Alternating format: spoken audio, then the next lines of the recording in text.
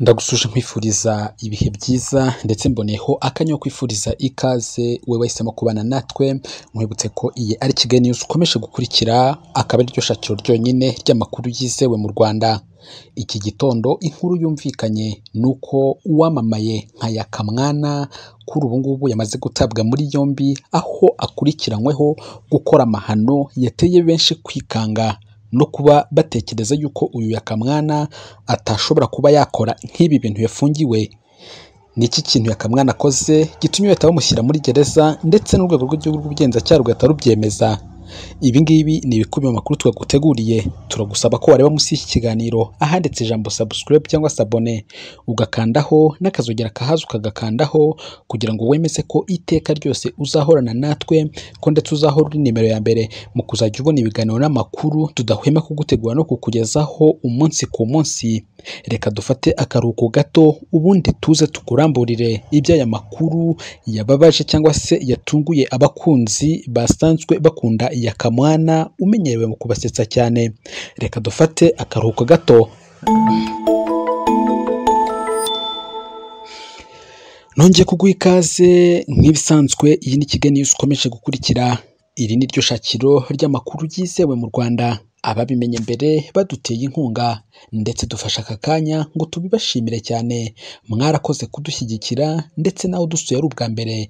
Reba munsi ya kino kiganiro udutere inkunga urebe ahanditse sabone cyangwa subscribe ukandeho n'akazogera kaza ugakandeho kugira ngo wemeze ko iteka ryose uzahorana natwe ko ndetse uzahora uri nimero ya mbere. Mu kuzajya ubona ibiganiro n'amakuru tudahwema kugutegura no kukugezaho umunsi ku munsi. Umukinnyi wa filime wamamaye nka Yakamwana uzwi ku izina rya Yaka cyangwa se abenshi bita Yakamwana amazina ye nyakuri witwa Gasore Pacifique kuri ubu ngubu uyu gasore yamaze gufatwa ndetse kuri ubu ngubu yamaze kugezwa mu gihome aho afungiye kuri sitasiyo ya RIB ya Kicukiro. Nyuma yo gukora amarorerwa abantu bamukunda batamutekerezagaho kuri ubu urwego rw'igihugu rw'ubugenzacyaha RIB rwatangaje yuko rwafunze Yakamwana umenyerewe muri filime zo gusetsa ndetse no ku mashini atandukanye ya za YouTube.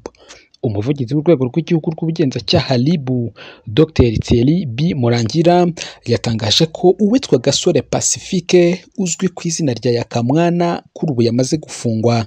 Aho uyu musore ngo amarorerwa yaba yakoze ngo akurikiranyweho icyaha cyo gufata umuntu akamukomeretsa bikomeye ariko kandi akabikora ku bushake.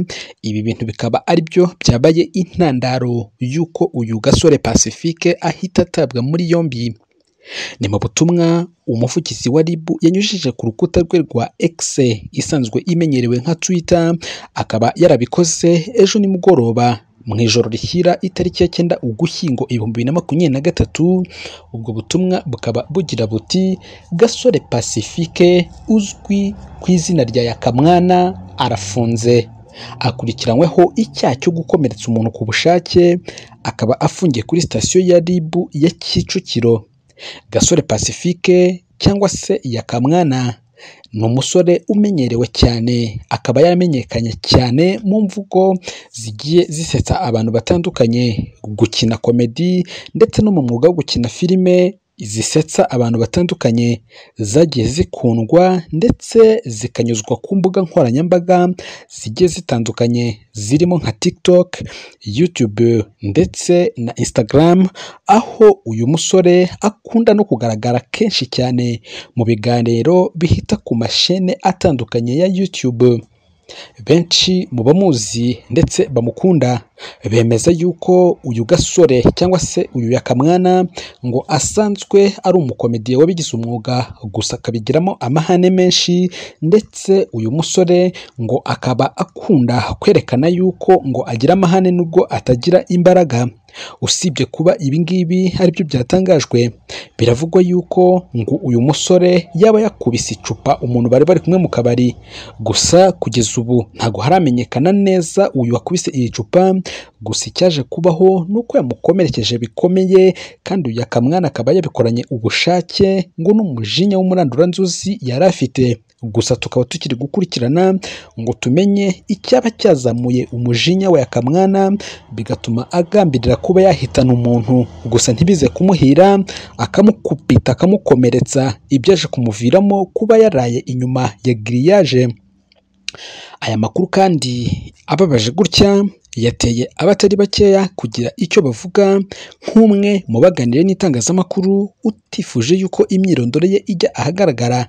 Yagaragaje yuko ngo yagiye aburira Yakamwana inshuro nyinshi zitandukanye amusaba ko yakizwa ngo akareka inzoga cyane ko ngo iyo yanyweye agacupa ngo gakunda kumubasha. Rimwe na rimwe kakaba kamukoresha ibidakorwa nk'ibi ngibi byabaye ngo cyane yuko mu busanzwe ngo Yakamwana iyo atasomye ku gacupa ngo aba ari ntama w'Imana wigendera ndetse ngo byakugora kuba wabona hari uwo bashwanye. Uyu mugabo atigeze asoma kuri mucyurabuhoro. Uyu watangaga ubu buhamya yavuze yuko yagerageje kumuganiriza ndetse no kumuba hafi no kumusaba yuko yareka inzoga cyangwa se yajya azinywa akanywa izo abashije aho kugira ngo azajye kwijandika mu bikorwa by'urugomo nk'ibi yaje gufatirwamo. Usibye kuba uyu Yakamwana yafashwe ndetse agafungwa. Kuri ubu hanatangajwe yuko abantu bagera kuri mirongo itatu na barindwi batawe muri yombi baturutse mu murenge wa Kanombe. Aho ngo aba bose ngo bajyaga babuza umutekano abaturage bakora ibikorwa by'urugomo. Harimo abakoraga ubujura n'abakoraga ubusambanyi cyangwa se uburaya aba bose bakaza kuba barafatiwe. Mu mukwabu wakozwe ndetse hakaba ngo bigiye kujya bikorwa kenshi kugira ngo ibi byaha birushweho guhashywa. Ribu ishishikariza abaturage kuzajya batangira amakuru ku gihe ndetse umuntu wese waba uzi ko ahantu hagiye kuba cyangwa se afite amakuru ku muntu uwo ari we wese waba ugira urugomo cyangwa se ukubaganira abandi yajya atanga amakuru maze bigakurikiranwa. Ibyaha bikaba byakumirwa bitari byaba ngo kuko sibye kuba bifasha mu kurinda ibyago ariko kandi binafasha mu kuba harengerwa ubuzima bw'umuntu cyane nk'uyu nguyu waje gukubitwa ngo iyo amakuru aza kumenyekana mbere ibintu nk'ibi bikaba bitari kuba byabaye. Usibye kuba ribu ishishikariza abaturage ibi. Abayobozi bo mu nzego z'ibanze ntibahwema gukangurira abaturage ko bazajya bafata iya mbere mu gutangira amakuru ku gihe kugira ngo ibyaha nk'ibi by'urugomo ndetse n'ibishingiye ku makimbirane ayo ari yo yose byabe cyangwa se bijye bihabwa umurongo mbere y'uko biba ngo kuko gukumira icyaha kitari cyaba ngo ahanini usanga ari ikintu kigira akamaro gakomeye cyane ndetse bikaba byanafasha mu kurinda ibyago bigiye bitandukanye. Uyu muntu Yakamwana yakomerekeje biravugwa ko yahise ajyanwa kwa muganga mu gihe urwego rw'igihugu rw'ubugenzacyaha rwahise ruta muri yombi uyu Yakamwana wigize isadunda akigira akagoma akiha ibyo gukomeretsa abantu yigize. Ngo ni umuntu uzi kurwana ariko bikaza kurangira atawe muri yombi akurikiranyweho iki cyaha cyo gukubita no gukomeretsa ku bushake. Iyi ni Kigali News ukomeje gukurikira. Iyi ni inkuru yitabwa muri yombi ry'umusitari cyangwa se ry'umukinnyi wa filime witwa Yakamwana cyangwa se Gasore Pacifique. Turagusaba ko wadutera inkunga uyu munsi ukareba munsi ya kino kiganiro. Handitse subscribe cyangwa se abone ukandeho n'akazogera kahaza ugakandeho uraba ushimangiye ko iteka ryose uzahorana natwe ko ndetse uzahora uri nimero ya mbere mu kuzajya ubona ibiganiro n'amakuru tudahwema kugutegura no kukugezaho umunsi ku munsi. Nimukomeze mugire ibihe byiza kandi muhahe muronke.